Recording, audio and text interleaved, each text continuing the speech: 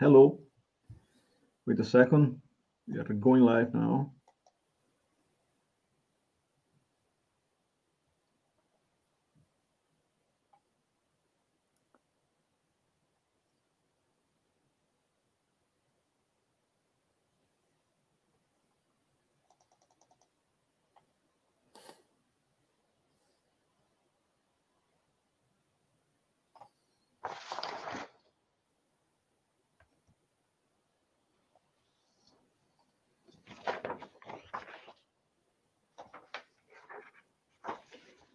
Yes, here we are. Perfect.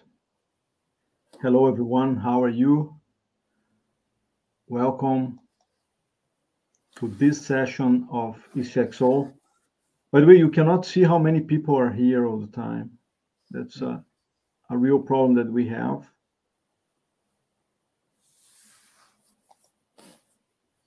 Well, at least it's the two of us, isn't it? So that's already something. Yeah, is it's only working the LinkedIn right now and, and YouTube. It's not working my Facebook and the and the group of ECXO on the Facebook. Let's start. Okay. Um, let me see the. So welcome everyone for this session for the ECXO executive sessions. Um, today we have a very uh, distinguished guest. Okay, and I'm going to introduce him in a few minutes from now. Uh, about first the ECXO. The ECXO objective, the actually, the ECXO is an open access uh, CX professional network that we are building around Europe and the world. The objective of ECXO is to unify 50 European countries and beyond, establishing a consistent level of CX maturity, addressing the diversity across Europe. We aim to bridge CX maturity gaps while preserving cultural richness through educational research, events, and collaborative efforts with top organizations of all sizes. Um, today we have an amazing guest, Professor Jan Eric Barr, speaking about strategic design and he is the author and i actually come across him a few years ago. He wrote this amazing book here. The first book of its kind that is really business oriented for leaders and i think is a great guide to guide a company through the design and customer centricity um, uh, path, uh, path that you have to take to engage your company and to, and to improve your company. So let me introduce you professor jan Professor Jan is the current is currently the the head and of advanced studies program in design management at the University of Applied Materials, Applied Sciences, excuse me, in Lucerne, in Schweiz, in Switzerland. We created, so what he does, he created the Customer Centricity Score, CCS, and is one author of the amazing book that I just mentioned for you, um, he's also a member of the board at uh, a company called, uh, where's the company? Vetica. Swiss design agency Vetica, and co-owner of the Customer Metrics AG, a firm specialized in organizational metrics, which is here today, and he has some many, many ideas about that that can work really well. So without further ado, I will leave now with Professor Jan and I'm going to disappear, but I'll be here for your questions. Okay, thank you very much, Ricardo, for having me in your session. Uh, hello, everybody. For those who are there, I uh, hope you you're inside, cozy and warm. Let's uh, let's guide you through like half an hour, maybe, through uh, my presentation on strategic design and why this is key to achieve uh, a sustainable business growth and customer growth. Um, well, I already there's a lot of been said about me, so I think I can skip this. Uh, maybe one thing to mention uh, for those that do not know me, I am a designer by heart. I was trained industrial designer and worked for as a designer in at Philips for almost 20 years and also at Deutsche Telekom. So I'm I was been many for many years part of the development side of business, so to say, uh, engineering, design. That was that is my background. So I don't have a real business background. Um, so let's jump into the presentation. So how do businesses become successful in the first place? I mean, that's something that you would always ask yourself, and what also I did in during my career. And clearly, you have to provide something that businesses really need, isn't it? Something meaningful, uh, which again, more and more businesses are struggling to provide the sort of meaningful solution. But alone, of course, is not enough. Something that people really need. Uh, yeah, uh, most of the people have what they need. Um, so what what beyond that you have to do is, of course, you have to provide something that people really want a proposition, a solution which fits their pocket, their wallet size, their desires, their needs, uh, beyond uh, the fundamental. So really being becoming relevant for customers is, is the second thing you have to be able to achieve. Still this would not be enough. Beyond that, of course, you also have to provide that what people really desire. Uh, so something that is kind of encompassing this service or product or proposition that you provide giving it a an emotional touch, um, allowing it to differentiate uh, from other competitors, providing an identity, something that is very experiential. And these three things come together in what we call the experience economy, uh, where businesses increasingly are competing not on, let's say, a functional or technical level, but they, they compete against each other on an experiential level. And the ability to create very differentiated and very relevant solutions is what, what will determine the success of an organization. So that means that for a lot of players out there, it's not anymore competing with your nearest competitor that will define your success. It's competing with other experiences.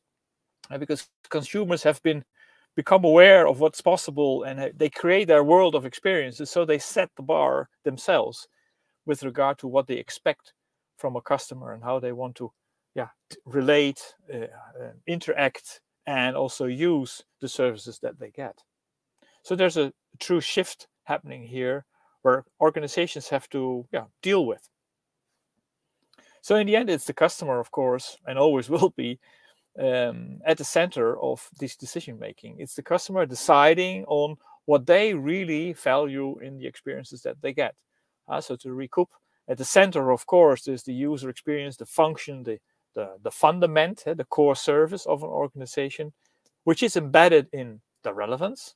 Uh, so the, the customer experience, so to say, where you get a proposition made for yourself, which again is embedded in a so-called brand experience, in an identity, something that is conveying the organization's values and image and and uh, yeah and, and, and design as from let's say the outer perspective and the, the value perspective.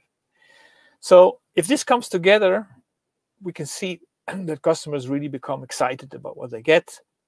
And beyond that they they start to behave in a way that we really need to become successful and remain successful. They adopt a positive attitude they start to recommend the organization they start to engage with the organization build retention and um, yeah and also are willing to spend maybe their whatever they have on the company on the organization to support it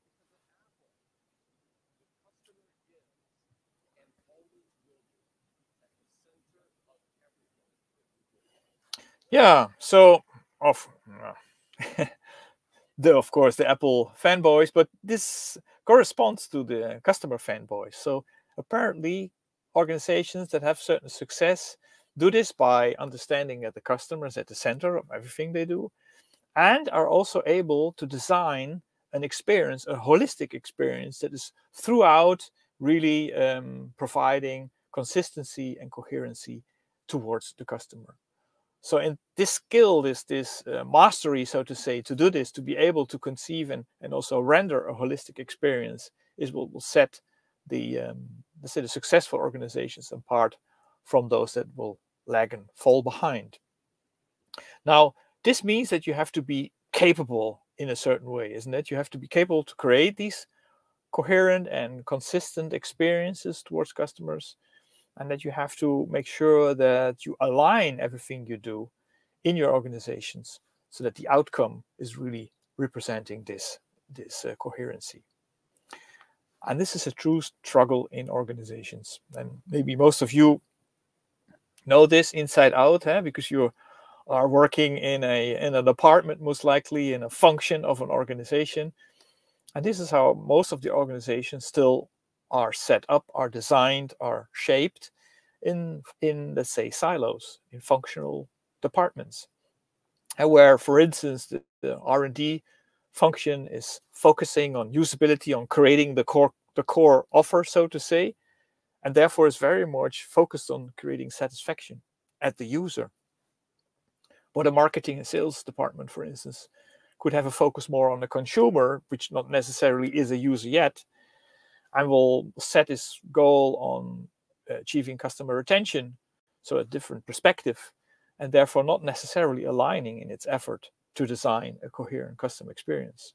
And beyond that, there might be a corporate department building a brand image, uh, talking to the wider world uh, to create attention to the organization and building a brand experience. So uniting these activities that all create outcome towards customers is what I call strategic design, is where, where all the design efforts are connected and create something that is more than just the sum of its part. It's where the word gestalt, you know, the, the form giving really has this true meaning. Eh? It's uh, we see something in the togetherness of what an organization is creating that is more than just this individual part. And with that, we create true impact. And this this effect counts for every business uh, b2c b2b i mean it doesn't really matter what you do. It's also applicable to every organization the organization that i in i'm in uh, if, if we talk to the wider world or to students i mean we also promise something and we have to deliver on it. And even even in a larger scale in on societal level this still holds. Um, it, it all we're all looking for clarity for uh, a cohesion and also a consistency in whatever we are doing. So it means that in in winning the customer to become yeah supporting your organization, um, you are you have to to be to be capable, isn't it? It's it's, it's in this saying um, yeah, that what comes around goes around, or in the German it's even nicer. Yeah? So wie man in den Wald ruft, so schallt es heraus um, always sounds nice if you say it in the German language as well. But factually, it means that and any organization gets the, the customer it deserves or it creates. if the organization is uncoordinated and not motivated, customers also will be uncoordinated and not motivated. So there's a direct relationship between the organization's ability and the customer's, let's say, reaction to it. So organizational potential is determining the customer potential and thereby has a direct input or influence on how much value between these two parties can uh, emerge, can, can be created. So that means that we have to look into organizational capability and, and, and also understand what that is and also try to uncover the status of organizational ability to understand in how far we, with that potential, can create custom experiences that are truly exciting. Uh, and with that, can create customer potential in the form of loyalty or spending uh, willingness or um, recommendation, etc., etc., which in the end will yield customer value. So it's really about us, the organization's capability that counts. And we need measures and methods to look into the organization and to find out okay how good is the organization in in creating a truly outstanding customer experience? So how do we get there? How do we how do we build an organization that's more capable than it than it was before in order to create these experiences? Well first of all the organization has to want this isn't it? It's like you know uh, you buy a racing bike and you say okay let's go across the alps. I mean nice you can buy a tool but um, you also have to be able be fit enough to do it. So you have to adopt a certain mindset an excellency mindset. And this means is that you are able to address both of the two dominant issues that you have in your business both at the same time. Uh, so on the one hand you have to address all the burning management issues specifically these days uh, the obtaining and maintaining the resources controlling your business setting yourself apart from competition, growing efficiency, uh, and with that securing uh, your business from from that perspective. But at the same time, you also have to master all the design issues that you might have. Uh, creating the relevant propositions, for instance, being differentiating to your competitors, creating an effect, and also shape your future of the organization. So designing the future of your organization. These things come together and both all of the known yeah, business models are describing this togetherness in the senses that they call these the primary and secondary activity of any business, according to Porter in this case. Now, the primary activity being the one of creating the value for the customer, and then the supporting activity being the one of administer and manage the organization so that it has all the means necessary and needed in order to fulfill the primary activity. So it's a really a balancing act that organizations have to play and bringing together design and management, uh, not separate, but together equally developed on a high level so that in, in combination they can create effect and efficiency at the same time. Uh, because this is uh, yeah, a crucial for, for an organization's capability. Now, if we if we're honest and we look around, or basically if we record the last 20 years, for instance, we can see that most businesses are very well capable of managing and administering their business. I mean, this is what has been taught at business schools. Most of the CEOs that I know have a business background. Uh, they um, uh, they're business people, lawyers, uh, finance experts, whatever. So that's not really the issue, isn't it? It's more that the required high level of design capability, in the broader sense, even, is not on an equal level. It's it's because management is so dominating in an organization, also setting the, the mindset. The design is, yeah, captured, provided, but controlled, minimized, reduced, most most likely being treated very efficiently, and therefore not equally developed, not on an equally high level, and therefore also not, yeah, setting and dominating uh, like management the mindset of an organization. So in most of the organizations these days, we have a, a controlling, let's say, bias. And this is interesting to observe, and maybe you also do this yourself. Uh, so in, in, as I said before, also in, in the view of Porter, an optimum is a balance between the powers that are at play in an organization, but also a, a good balance, a well-developed balance of the capabilities in an organization, so that you have management and design capabilities very well developed um, and being present at all times. But there is this some sort of a pendulum that might swing back and forth, left and right in this case. Um, yeah, making an organization um, dominating one over the other. And as I said before, in, in, my observation, in organizations and even in our society today, we are uh, in a management uh, in the management area, so to say. This means that we're very focused on efficiency. We are very focused on controlling what we do, but also we cultivate a mindset that is fueled with doubt. Uh, it's basically the mindset that you adopt if you truly are in that area. Whereas the mindset that you need in order to create, to develop, to design, to um, to create something new or change is the one that you where you act out of trust, isn't it? You you need a freedom for it. You need uh, a focus on effect rather than efficiency, and uh, and that's what is is needed in organizations to create these outstanding, very yeah, uh, refreshing, new, relevant solutions. So how can we get that pendulum more towards the middle so that both of these competencies competencies that are needed are, are not eliminating each other but are equally developed? Because if you maintain a management view uh, and you you're acting out of doubt you are not trusting that much. So it means that you are reducing your time horizons and you become very very short-sighted short focused you end up by overlooking a quarter so you get the quarter figures and the only thing that you will see contributing to your value is the efficiency that you can create so that's why it's so difficult for managers to um, yeah to or designers to break into this because there will always be you know, outplayed by the call for even more efficiency because that's what's driving value creation.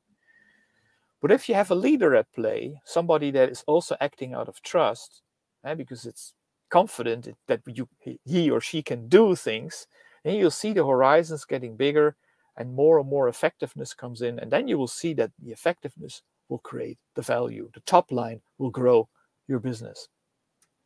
So for me, it's all about building a competent organizations and I where design and managing are equally developed.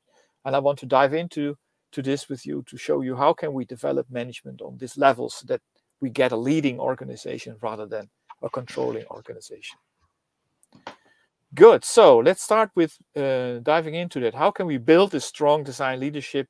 How can we achieve strategic design in an organization? So not just only, you know, the uh, the painting up or the, the, the beautification, but really true strategic design.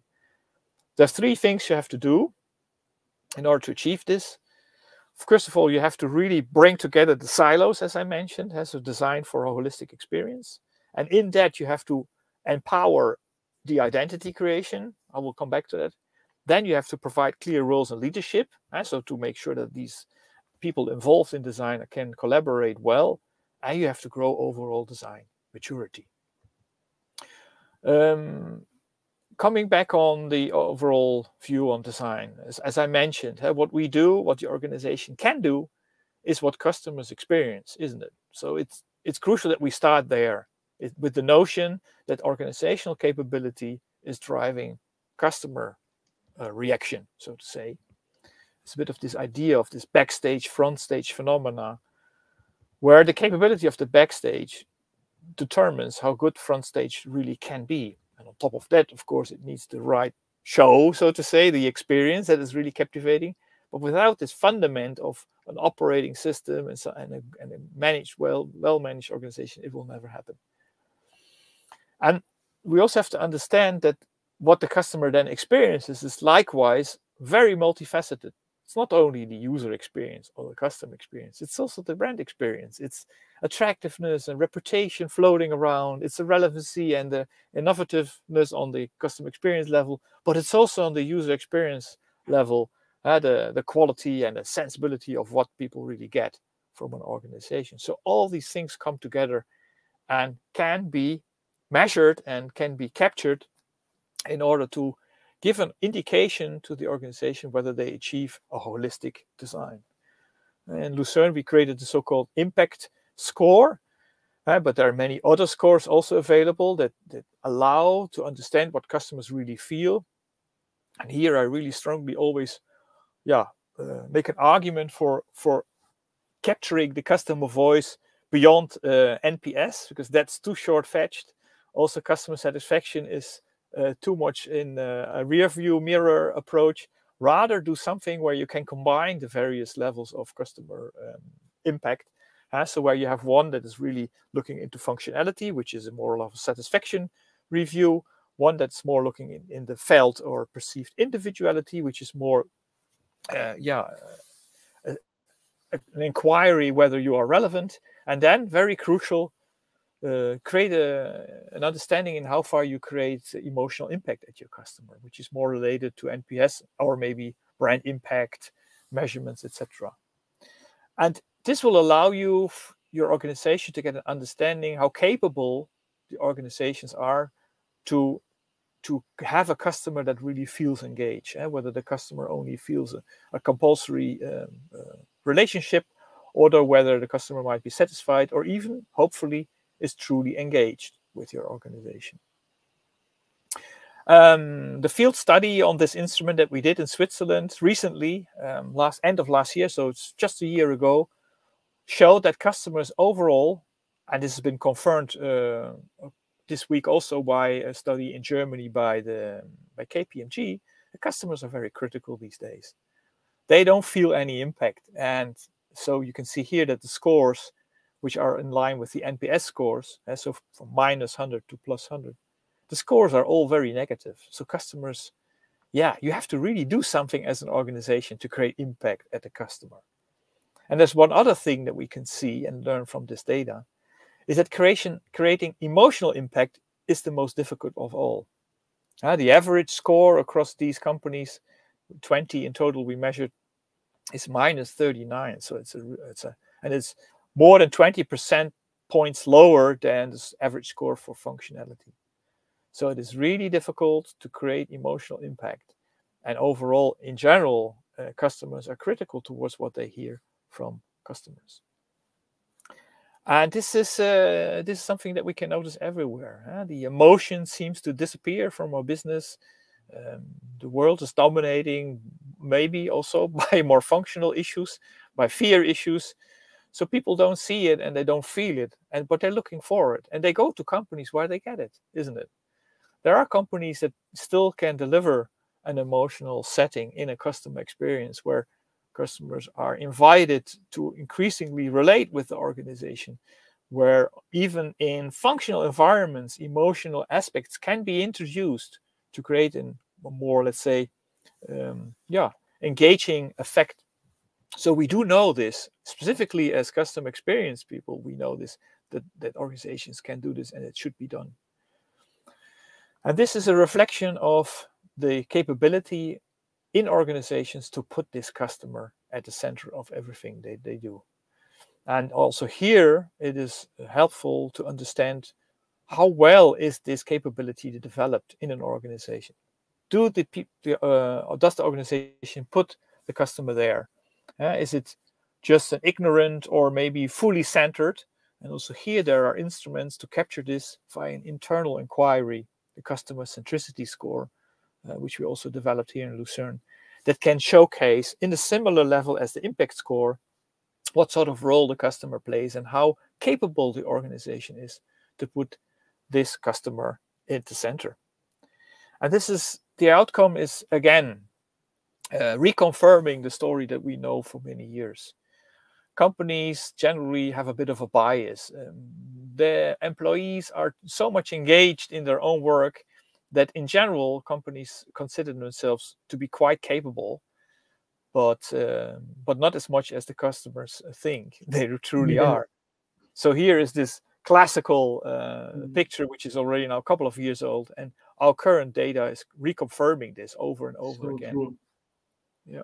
So the um, the capability of organizations on putting customer centered is a is a good starting point to move on into um, what then design can add to this because we know emotionality is underdeveloped there's a the relevancy is hardly addressed. So design must play, play a role in this. And this starts all with assigning a clear role to design activities. Major organizations deploy design no doubt about it. I mean everybody knows that design is important but the way they add design skills and capability to their organization is somewhat yeah opportunistic let's say that way. It's done everywhere and it's uh, yeah it's it's done for all the various parts. So there's there might be a brand design activity an industrial design activity user experience design work in the r&d then there might be um, communication design and campaign activities in marketing and sales and so forth and uh, you are lucky in, as an organization if you have access to these design capabilities but um, some organizations don't even have them they buy them in and then the big question is, do all of these design activities, can they add to the organizational capabilities? And do they support the creation of a consistent and coherent customer experience? And my, my observation is not really. Uh, most of the time, as I mentioned, there's an opportunistic treatment with how to deal with design. Uh, so they're mostly add-on, and they're also contradicting each other. Often design principles are fighting with brand principles because simply the designers don't know each other. They never collaborated. And time wise they're not in sync. So there's a lot to be done in organizations to improve this because the, the outcome will will be visible and will be felt by the customers so also here there has to be a new role for design a more um, yeah strategic role for design where design is treated strategically, so embracing not only formal design in the terms of you know, beautification, but it's also embracing the relational design, which is marketing, and the functional design, which is R&D. And bringing these things together under one, so to say, a design umbrella is what Dumas and Mintzberg once called this in a, in a very important paper that they wrote, bringing this together and also giving a clear leadership role to the formal design, you build an excellent design capability in your organization. And most organizations, more most businesses don't have this. They still treat the formal design as an afterthought, as an add-on, and they don't build a collective, uh, let's say, view on how these three le uh, uh, levels of design work together, the three functions of design. So this is design that counts. It's really the togetherness of R&D, marketing and sales, and brand and design activities that together create what the customer is uh, perceiving. So it needs a new strategic design approach, uh, something that is over that's binding together. I would you could almost call this the primary activity of an organization that uh, brings these uh, these entities together and coordinates it on a high high level. Uh, so that's that's what the strategic design means to me and should be implemented. To achieve this, though, we have to improve one thing, and this is the design maturity in the organization. And in this case, it means the maturity of the formal design activities that take place. So the design that lead to identity creation. So it starts with brand design and it goes through all the different touch points and basically carries the positioning that is created by identity design throughout all the various design projects that take place in an organization. Because only if this work is mature and only if the organization is capable in this area, it can really start to have a fruitful collaboration between marketing and R&D, uh, where also the balance is right, and where the, in the collaboration true excellence can uh, can emerge. So formal design, uh, the design um, that is giving shape and articulates an identity into all of the constituents of, a, of an organization, of course, also touches the user experience, uh, where the design of the function is generated. It touches the customer experience, uh, where all the relationship to the market and the customers and so forth is shaped. And of course, it has its key role in creating the positioning, the relevancy, the, sorry, the, the differentiation of the organization towards the wider world. Um, so formal design, of course, is not restricted only to the form giving of the say the outer form of course it's collaborating with all these different activities vice versa. So therefore it's important that the organization is really capable to implement this activity in, a, in an excellent way. And there are many ways to describe the maturity of these activities. Uh, most of you might know the this, uh, Danish design ladder, which is a, is a, maturity model, a step model. Actually, it's not a ladder; it's a step model where the design capability is described on these three levels. So, the capability of being able to implement on a high level, uh, the capability to uh, spread the activities across the organization. So it's more like the process strength and capability. And of course, the capability to embed it on a strategic leading level uh, where it touches the brand identity setting and where it sets the directives of all the organization.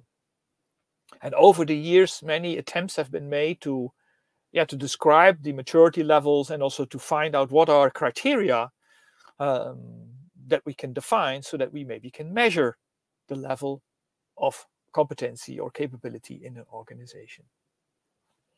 And, uh, and since that's my hobby, creating measurement tools, this is exactly what I did over a study of many years actually I started with composing a so-called maturity model, which is taking the clues from from scholars in the past, like Brigitte uh, de Mozota and also the design ladder from Kootstra, the staircase model, and I kind of unified this in this sort of maturity model. And uh, that is basically the starting point of describing the capability of design in an organization. And in a study that was uh, sponsored by Miele and USM, uh, thankfully, so that we could do this, uh, I was able to uh, assess and validate 57 um, organizations in German-speaking countries to create something like a score, a scoring indication of how well do organizations uh, manage design, are capable in, in, in including design in their organizations. And also it was, of course, needed in order to generate the the, the assessment model for capability. Yeah, this is the outcome. Again, a lot of red, very little green. Um, uh, so the in total, I have now 18 criteria that define capability level of design and organization. And they are split up over these three levels, as you can see, design strategy, design planning, and design realization. So uh, the, the, the being, the thinking, and the doing part. And then we can see that most of these criteria, which are you know about, for instance, obtaining and ensuring resources or harmoniz harmonizing design projects across the company or positioning the, the design as a strategic um, entity, these are graded by the 70, uh, sorry, 57 companies, mostly as being underdeveloped. Uh, so the, there's actually only two criteria which were graded positively, which is the know-how of the organization to deal with design professionals and the professionalism of the design professionals involved. All the other criteria, which as you can see are mainly managerial related activities in order to capture and ensure design, are rated negatively in average. So the average is minus 20. Again, this is the same NPS scoring model that we have and the top tier group, so those with a high score, so with uh, um, this were all the companies with an average score of uh, 9 and 10, um, has at least has a, a, top average score of 46. And the low tier group, so those that have rated 6 and lower, minus 74. So there's a substantial difference here in the scoring. And here it's interesting to see how the top groups, top performing organizations are different from low performing organizations, whether they have a different culture, whether they maybe have different success criteria attached to them in order to start to build a correlation between design capability and organizational success. And this is what I did in the study. So I think, you know, by just reflecting the growth of the organizations, we can see that this top group, eh, so the group with excellent and or very well developed design capabilities, consider themselves to be stable and very working very much above the market. Uh, so there's no criticism in that respect.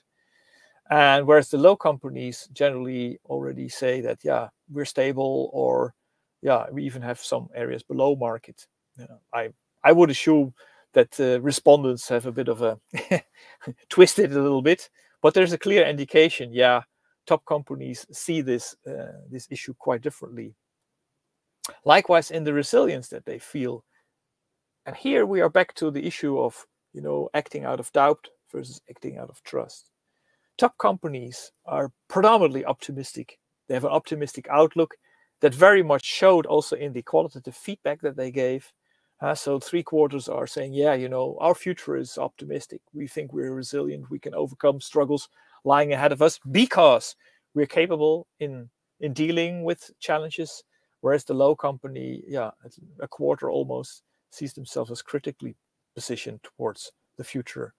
So here, I think we can see in the low company, you know, the doubt might be dominating the mindset, whereas in the top company, the trust is more, you know, present and hopefully very well balanced with a doubtful um, attitude as well. So just this this combination of of both uh, things present. For those interested in all the details in this um, in the study. You can download the study um, on the website of Bayern Design, German design support organization. It's also available in English, by the way. Yeah, so to sum this whole thing up, the strategic design um, is recognized as something that really helps organizations to create an economic added value amongst other things. So there's a lot of questions that I've asked. And clearly, this is where all the average of all this uh, 57 organizations say yes you know this will add us but the same sample when it comes to the design resources clearly say that they don't see themselves having the appropriate resources it needs. So there is no capability present. Um, we are not prioritizing in the right way. So for me uh, is this is a clear signal that there's a huge potential that has been just not enabled in organizations um, a huge potential which requires organizations to adopt an excellency mindset of course you cannot do this by just you know plodding along or managing your business you really have to adopt design and strategy and employees You have to also integrate all your design activities in, into one orchestrated uh, approach. And you have to start to manage your design activities, obviously, much better. You cannot leave it over to the agency or to the designer that you hire. Organizations have to develop their own capability in design or with design or for design in order to leverage that potential. Yes, so closing off, um, as I mentioned before, you get the customers you deserve. So your customers will only be as good as your organization is capable of creating an outstanding customer experience that is part of a user experience or, or surrounding a user experience and embedded in a brand experience. So it's about enabling the, the capabilities in your organizations that will create a success. Because in the end, people, us, we, all of us, we don't buy the management of a company, do we? We buy the design. Clearly, mm-hmm. that's what is delivering us the value. So thank you very much for your attention. And I think we have a some good time left to maybe answer some questions. Exactly. Or, uh, so we have an observation here from. Uh, thank you very much. It was a great presentation. Now we have some. Simon is just uh, making an oh, observation. Yeah. Hmm. And we have a question for Marianne that I will show in a few seconds. If you want to relate to the to what uh, uh, Simon yeah. is saying. Yeah. So yeah, I'm just reading here. Um, I don't know what's the first name. Sinem, I would assume. I hope I pronounced it right. Yeah, so it's again the intertwinkling or the, the combination. I think I would call it the collaboration because in the end, these are still different corporate functions uh, with their own methodologies and approaches and processes, most likely. But they have to be um, they have to be, yeah, guided into a, a collaboration that has one common outcome in in view, and the outcome always has to be customer impact. Because in the end you know if you if you are setting up a campaign or if you're creating a proposition portfolio or if you adopting your pricing model or whatever it is you do or even from an r&d perspective you know if you change uh, the whatever the the technology platform of your product or, or whatever it always comes together at the customer as a unified impact because customers do not separate. Oh that's from the r&d department. Oh that comes from the sales and service department. Oh this is coming from let's say the brand design department. They they perceive this together and judge the quality of what they get together. And that's also why i always say don't start to measure the results of your organization in silos. Adopt to have a unified measurement at the customer. And then from that try to foster and grow collaboration. So, for instance, have everybody confronting with the same um, uh, measurements. So, if you if you would do customer impact score, and you would show that to marketing, R and D, and branding, and all the functions at the same time, and say, "This is guys what we all do," then might help to sort out improved collaboration. I saw something else popping up, but it was going. Ah. I'll show you one second. Yeah. We have a question here from Marianne. Mm-hmm. Yeah. Based on the design maturity, how one business that owns the different brands yeah. can deal with. again, there there are companies that are, uh, let's say, a house of brands, for instance, that you know are just a conglomerate, maybe with a lot of brands in them, or FMCGs that that use brands in order that are product brands basically, or service brands. I think uh, they are they are, they are challenged in the sense that um, they for every brand for every customer facing promise that they make that is related to an identity they have to make sure that the collaboration uh, is put in place. So of course they can they can build up a matrix organization with corporate functions where the brand is lying across and at every you know intersection point a brand manager for instance can utilize um, the, the capability of an engineer or web designer or just or a sales service um, uh, person. But again, uh, the viewpoint has to be customer centric. So um, in the end, um, a responsible brand manager, for instance, for multiple brands, has to adopt a customer centric view and has to also, in that sense, have a, a clear directive towards the organization by saying guys, we are building a coherent and consistent customer experience. So these are the, the parameters that, that are relevant and they have to be brand related parameters. Uh, so like corporate, like brand identity parameters that will set and define the requirements towards R&D or sales and service uh, so that they understand, okay, this is how we have to fit in our, our capability into providing this holistic experience. So it's a challenging thing, but in the end, I think it, the outcome is the same. If you're walking through an aisle and you're shopping for toothpaste and you, you remember an ad from a brand or you remember something else, and then again, as a customer, you have all these impact levels coming or making making up this impact in your mind at the same time. So it, in the end, it's the outcome is always the same.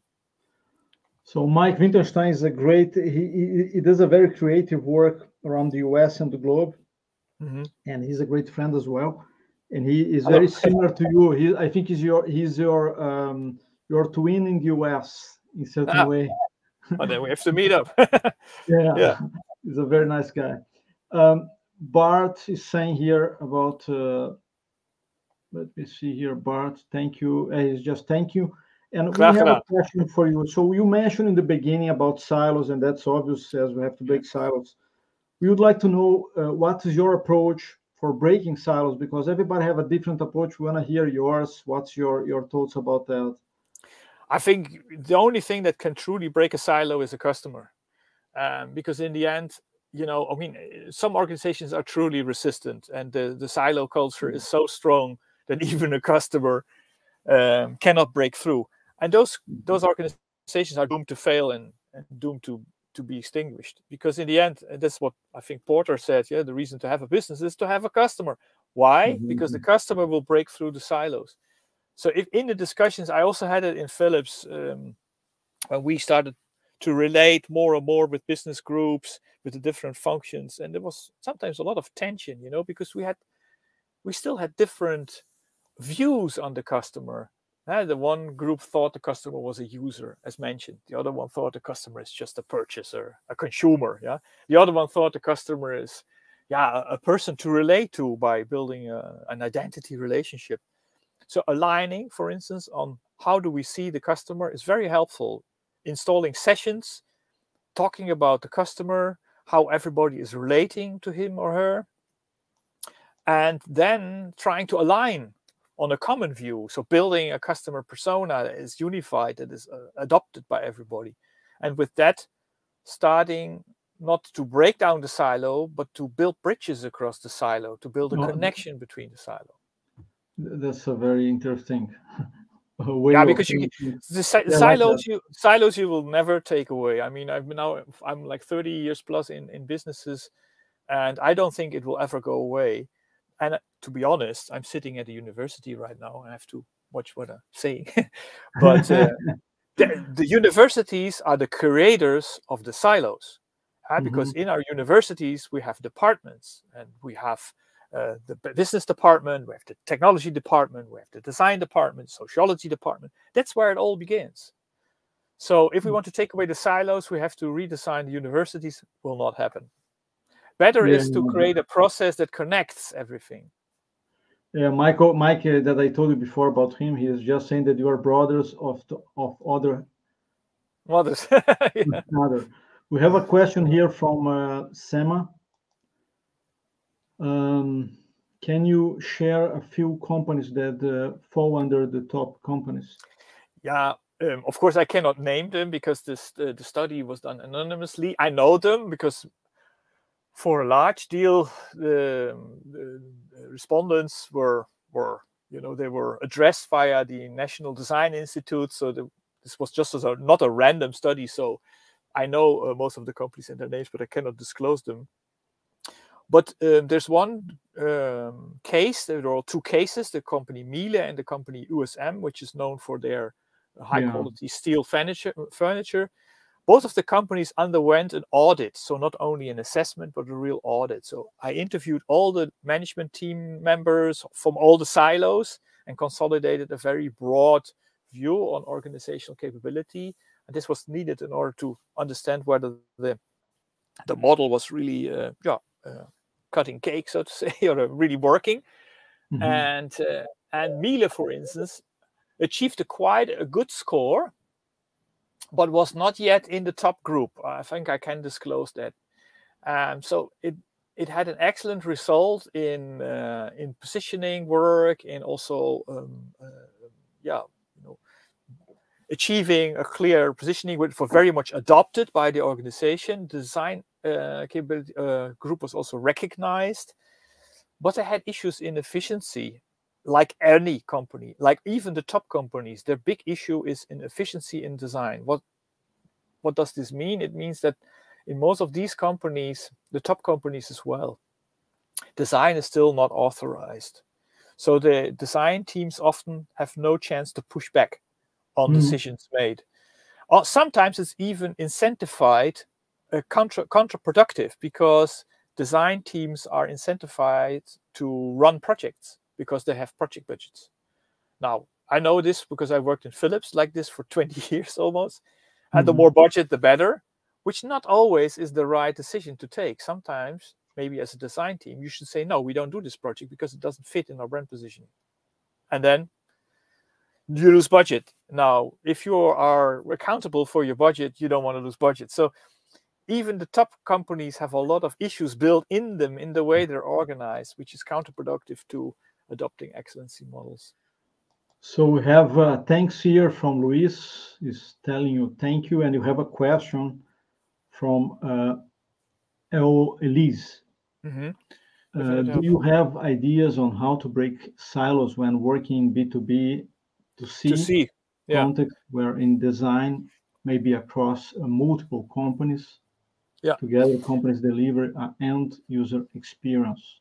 Yeah, I think I, I would tend to repeat what I said before because it says to B, to B, to C. I mean, you can make this list endlessly. You can say B to B to B to B to B to B to B to B to C. In the end, there will always be a customer, which will be a user, a consumer, a passenger by or somebody that, or maybe a, a citizen, you know, somebody that is at the end point or is, let's say, the the the the, the personality, the person that will enable value creation because up to a certain point value creation is just adding the work of b to b to b you know uh, a bolt will put in the machine the machine will put in an apparatus the apparatus will fuel the product the product will fuel the service and the service in the end will be of service to somebody. So i think in in illustrating the desires needs and wants of that that person that is the value creator, so to say, the end user, you could call them, or the end consumer, the end person, and use that along the value chain, also downstream, you know, up to maybe suppliers in materials. Uh, I mean, I remember from from from the Philips days that we once had a user persona created, and we went with this whole scenario model even to suppliers of materials. Because in those days it was about more eco-degradable ecos uh, impact. It was about degradable materials. It was about stuff that you know we had to convince downstream uh, sorry upstream wrong the other way around the suppliers of materials uh, wrong direction. Uh, the suppliers of materials and so forth. And by showing them this is what the impact will be of what you will do with your material to the end end end end customer it might convince them to adopt into it to collaborate better. So I will use the same methodologies, same approach. Always think from a customer. We have one observation here for you of a reader of your ah, book. Monica. yeah. Yeah, and we hello, have, Monica. hello. Yeah. Uh, we have a question for you to to mm-hmm. start summarizing. Um, how would you su uh, summarize uh, the significance and influence of design on outcomes in customer centricity in the tech companies in Europe, and what uh, areas still require attention here in Europe? And you can say about the world, but what, what's your thoughts about that? companies are not taking design as uh, you and me take and Mike take. Yeah, yeah that's a total different yeah. approach and they don't understand that that's the core, the the the the the the, the, the pillar of adoption and outcomes and grow, etc. So, what, what's your take on that? Yeah, I think we can refer back to the the pendulum that swings back and right. Uh, that that's now fully in the camp of the of the so-called forgive me the word but it's a bit of a management culture of course managers are not always like that but it's dominating the manager culture which is a, a, mindset that acts predominantly out of doubt. Uh, and it's not bad. Uh, for those that really followed my story i i, I uh, do an appeal for both to be present not for one to be present. Now, in organizations, and this is dominating um, uh, the business and society currently, there's a domination of management thinking, of, uh, of doubtful thinking, um, which has to be counterbalanced by a more uh, free spirited, more creative, more open, uh, explorative thinking. Even to a certain point, where I would say that even designers become tend to become more doubtful these days. You know, they are also very much fearful and not always looking into improvement and betterment. uh, so, so it, I think it's a huge challenge, and I think that's what businesses miss. I've, it, I think it shows in results. I think those organizations. It showed in my study. It also shows in other studies, also the McKinsey study, that organizations that are capable to build um, design competency are the more successful ones because they're they're able to to create better overall outcome, uh, which emotionalizes on a higher level, which is more relevant to customers. The outcome is more relevant. And most likely also the base function is more sustainable, more reliable, um, more qualitative. And I think that's, yeah. that's something that has to happen. Design and simplicity is what really makes a company as a very, very successful. And there's a, a research in Siegel and Gale that I used many years ago that they showed the correlation of companies investing in design, investing in simplicity, and the growth of the companies comparing with companies that are not doing that. That's very interesting point. We have another yeah. observation here from from SEMA. Customer impact is outcomes. Yeah. Yes, exactly. I would agree. Yeah, that's uh, that that it, the the understanding uh, what I read here, customer understand and empathetic design to deliver value.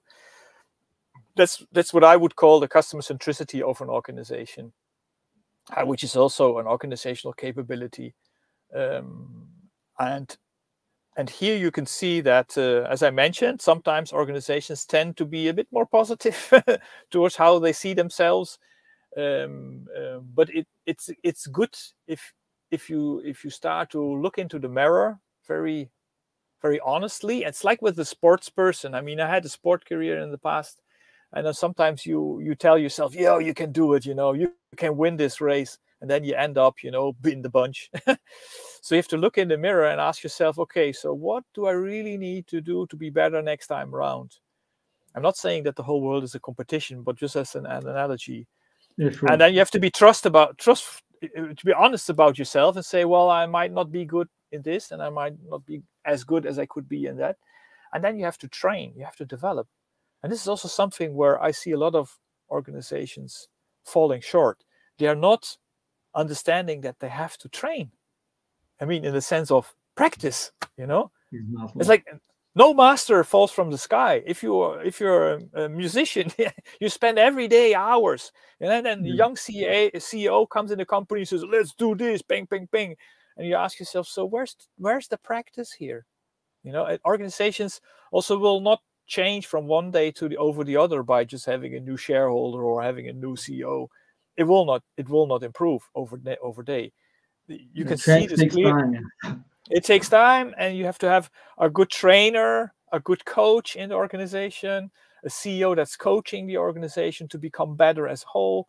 I think this is what you see in, in, in these companies that i admire in germany. This company dm uh, the drug chain big drug chain company that has a coaching culture uh, so yeah we find maybe other organizations that also have that i think that's that's the key uh, so be honest about yourself and and and try to have everybody adopting a culture of continuous improvement. We have more two questions, one from Mike here for you mm. and another one for us. And then we are going to start to wrap up. Okay.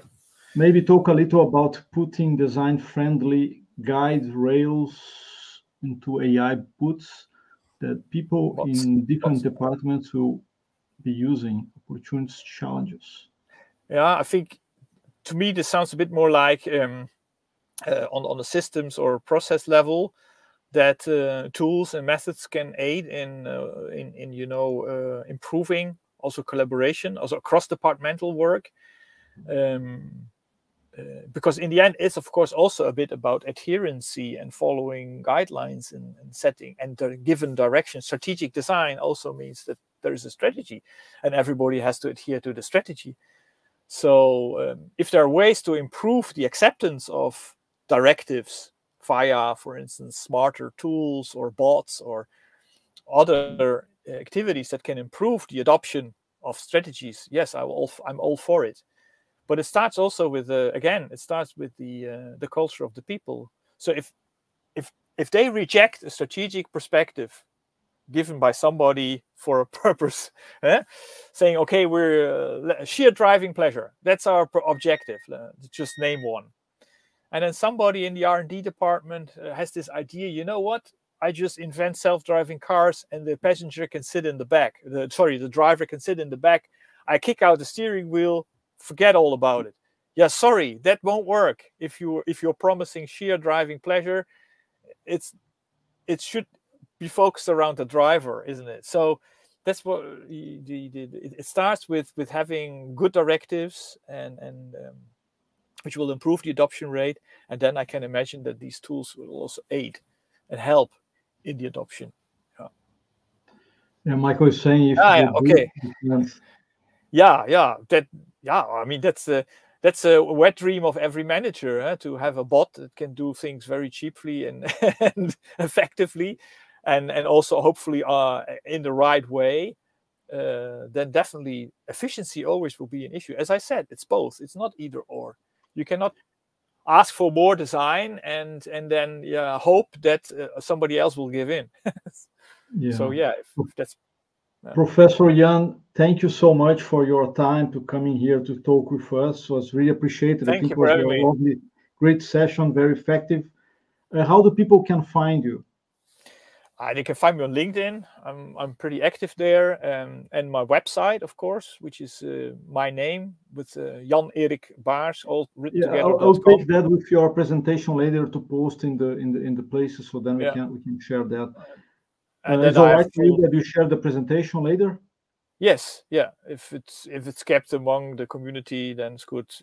Because there are some pictures in there which I, I don't think I have all the rights for. So perfect. Uh, so uh, you have to first to take that to avoid. I, actually, I was sued because I took a picture from somebody else, so I have to. We have to be careful about exactly. that today. All exactly. right. Some... Thank you very much, everyone, for You're coming welcome. for the European Customer Experience. It was a pleasure to have you here, and you have more sessions in the early 2004. right? and we are doing a lot of work right now to create our educational program and other things that are coming in 2004. Thank you so much. 2024 sorry yeah, yeah. oops have a lovely have a lovely uh, week and we will talk soon thank you so much thanks ricardo for having me